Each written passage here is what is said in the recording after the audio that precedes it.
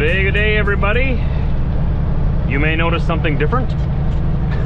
Similar, but different. I'm in the picker truck. The crane truck. Not old blue. Though it is a blue W900. It's a little bit older than mine, though. I have uh, a load of big poles behind me. And I got to bring them across the city. Doing some local work today. Filling in for our regular uh, picker driver. I've got to get all the way over, my friend, all the way over. Thank you very much. Some people get it, most don't. Thank you. This shifter seems so short. It's like way down here, like at my butt level. It's like, gotta reach way down to shift. I'm so used to my shifter up here. But yeah, I'm doing a favor. Uh, the guy who usually drives this truck is injured. And I'm trained to drive this truck. Uh, I gotta pick those poles off with the crane, right? So I have training on this and I'm one of the few people that uh, is qualified to operate this thing. So here we go. Trucker Josh is filling in. The load guys have done me many favors over the years, and uh, when they need a favor from me, if possible, like to come through for them. I can't every time. They've asked me uh, like two other times to uh, fill in on this truck, and both times it didn't work out. But uh, this week it did.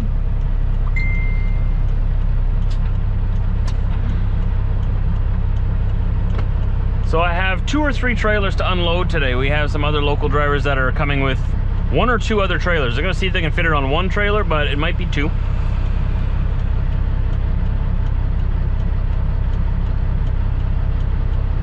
Poles I got on me are 65 feet long. I have a trombone trailer, triaxle flatbed, with the baskets for the for the poles. So it's stretched out about an extra seven feet. just to accommodate these long suckers. Feels so weird shifting way down here. I can't get used to that. We're just doing this for today. Tomorrow I, I'm back in Old Blue. I'll be doing some local stuff again though, but uh, I think I'll be pulling a roll tight. But I'll be back in my truck. Which I'm a lot more comfortable driving my truck. I don't like driving other people's trucks. Though the guy who regularly drives this one has it nice and organized. It's uh, it's actually very nice. I mean, it's an old truck, but it's organized. It's nice.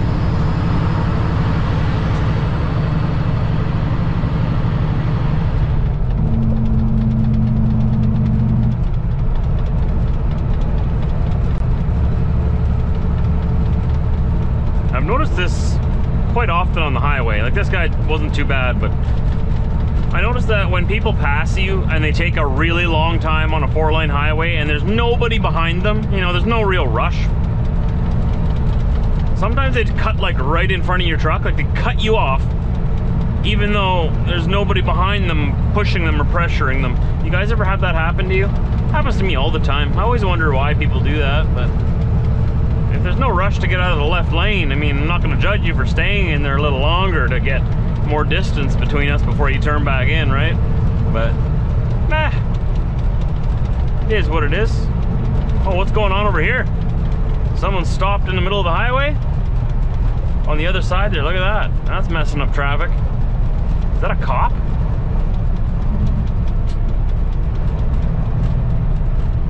Yeah, that's a cop, isn't it?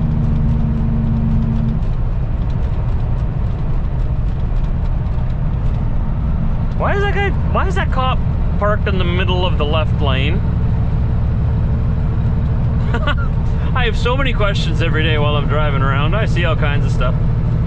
There must be a very good reason. At least it's a cop, right? And he's got the flashing lights and it's not just some random person just, you know, taking a break in the left lane.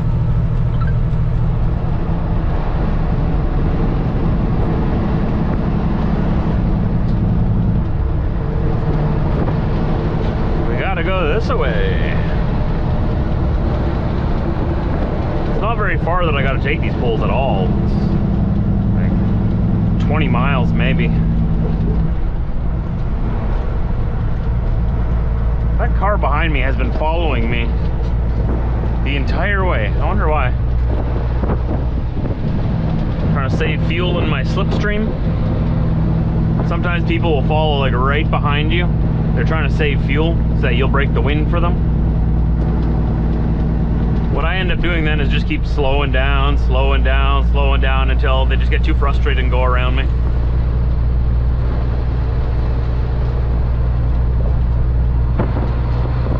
Oh, now he's passing me.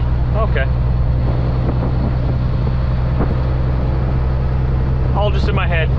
Just being paranoid. People following me. Oh, fancy blinker. Right, right, right. I'm turning right.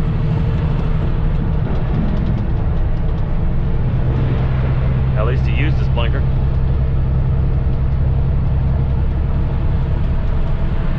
I am turning left up ahead here. I gotta get in this lane. There we go. Oh. Construction, construction everywhere.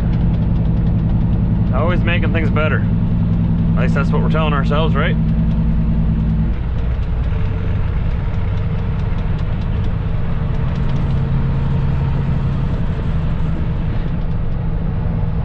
This is Deacon's Corner. Anyone who's come through Winnipeg knows Deacon's Corner.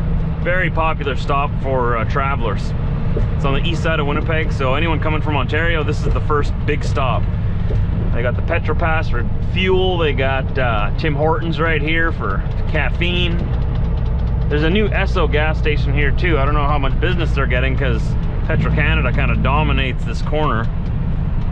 But I guess they're getting enough to stay in business.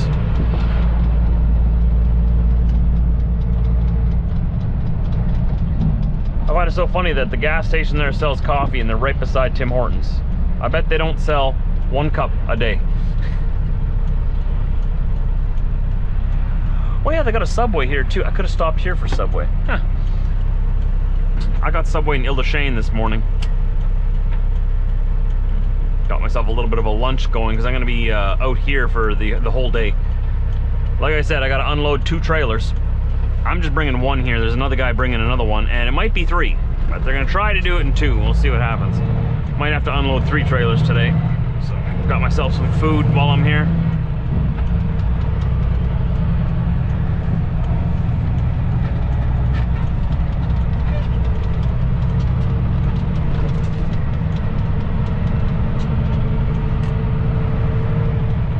Excuse you.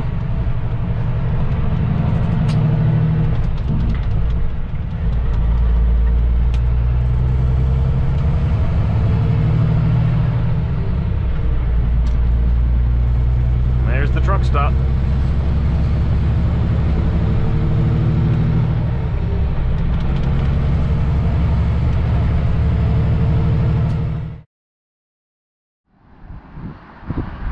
Well, we had a little bit of an issue with the crane today. There's a leak, and I think there's more than one. This whole area down here is soaked. There's there while I was unloading those poles, uh, suddenly uh, I lost power or lost hydraulic power, and uh, hydraulic fluids started not spraying out, but coming out pretty steady. And so I was able to get this thing folded back up, thankfully. But they're gonna have to pull it apart and figure out where the leaks are. Not only is this all soaked down here, it's also on the other side. I mean, if my truck's called Old Blue, I guess this would be what? Old, old blue? Older blue? Senior blue? Came all the way down here. It was pulling up on here. Those hoses there. Oh you can still see it's still dripping. Big leak in those hoses there. So I don't know what happened but of course it had to happen when I was using it right? It wasn't leaking this morning. I checked everything and when I started it wasn't leaking. So we have it at the repair shop here now. And I'm uh, getting a ride back to the yard. I hate it when stuff like this happens when I'm using it. It sort of messed up my whole day, but I mean the load still got delivered thankfully. Uh, we were able to get them offloaded there. Someone else came to unload them. And we got this truck to the facility where it can get repaired. And thankfully I had enough like, hydraulic pressure in there that I could still fold it back up. Because if I hadn't folded it up when I did, I might have had to leave it right there and like they might have had to have technicians come fix it on site there or get it like, folded up and yeah, it would have been fixed on site. That would have been way more expensive. So I got it folded up. We got it back here.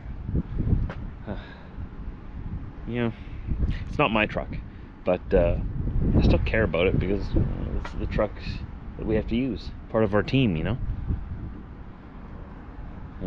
We're gonna go back to my truck now. I'm gonna hook up to a roll tight. So now I gotta wait here for my ride that'll take me back to my truck in our yard. See, I'll be grabbing a roll tight and going to go load it in the morning west of Winnipeg in Headingley. And then I have four deliveries around southern Manitoba with it tomorrow. So it's another local day tomorrow. But uh, I'll be in my truck. It'll be a lot more comfortable. I don't like driving other trucks.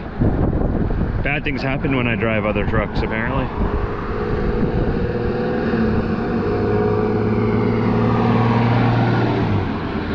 That's a funny looking truck. Just me? Maybe it's just me. I don't know.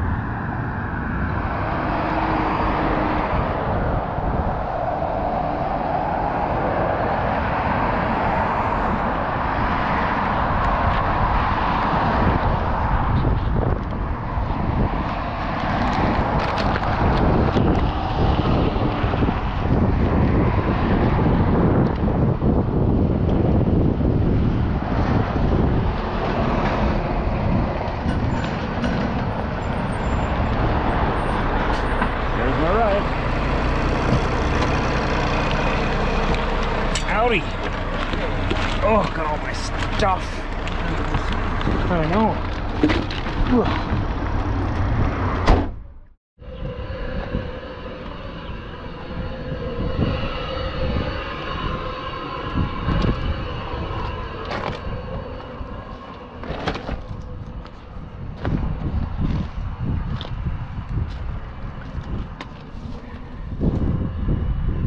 Feels good to be back.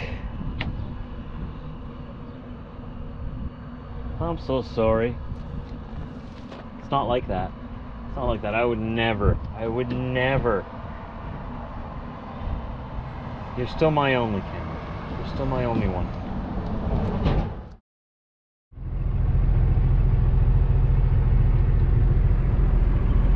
I missed you. I missed you. I was not with another Kenworth. It wasn't like that. It wasn't like that. I was just doing someone a favor. It doesn't sound any better. Forgive me? So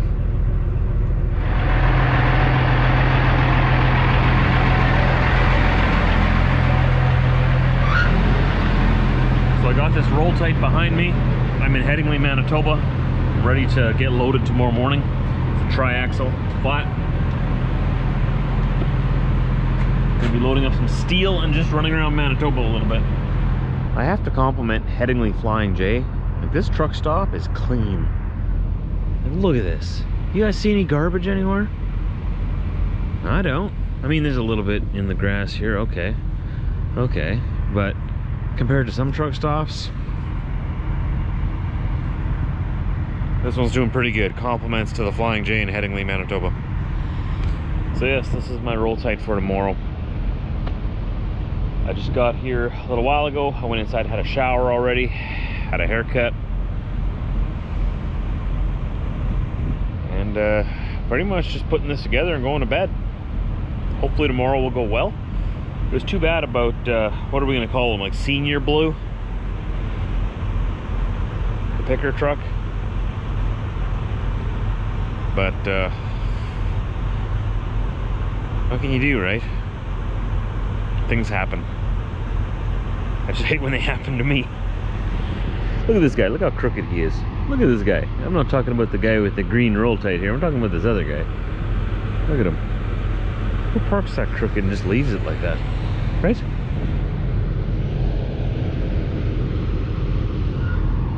I'm just picky. I'm just picky. He's in the lines. He's he's within his lines. Barely. But we'll forgive him. Thanks for hanging out with me today. Short little video. Not much happened, but boy, this guy's uh back tarp here is gonna rip open if he doesn't fix that. Those are supposed to be like mine here, like pinned in here. Huh? It's not my problem. I've had enough problems today. I'm done with problems. I'm going into the truck, putting this together, watching some YouTube for a while. Maybe I'll watch some Netflix, then I'm going to bed. Thanks for hanging out with me, everybody. I appreciate it. Hit that like button, go below the video. Make sure you're subscribed to me on YouTube. If you aren't, please make sure you are. Helps me out a whole lot. Leave me a comment down below. Let me know what you'd like to see in my videos upcoming. Other than that, I'll see you tomorrow. Take care.